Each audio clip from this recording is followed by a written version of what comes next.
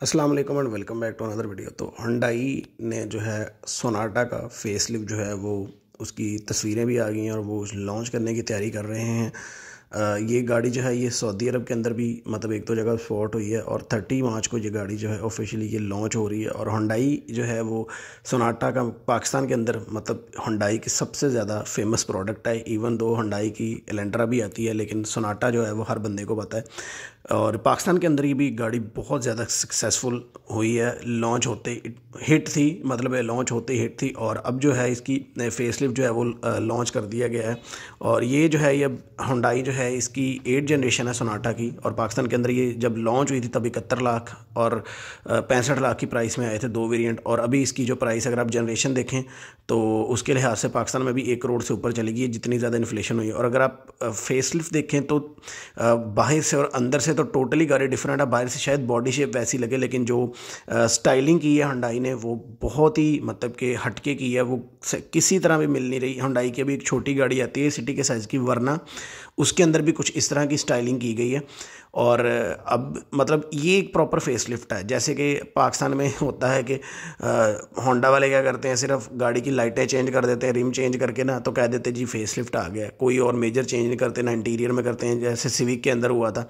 और सिटी का तो सबको पता है कि ग्यारह बारह साल पाकिस्तान के अंदर आई है और सिर्फ़ वो ग्रिल को ऊपर नीचे करके तो फेस लिफ्ट कर देते फेस लिफ्ट रहता है अगर आप गाड़ी की लुक देखें ना तो फ्रंट पर पूरी एक उन्होंने कंप्लीट लाइट दे दी है डी और गाड़ी की जो मेन लाइट्स हैं, वो बंपर के अंदर उन्होंने शिफ्ट कर दी और इतना अग्रेसिव बंपर बना दिया उसके अंदर जो कट्स हैं और अच्छा ये गाड़ी जो है, ये डिफरेंट मार्केट में ना इसके ऊपर थोड़ी सी शेप का मतलब जो बंपर है ना, उसकी शेप का फ़र्क होगा।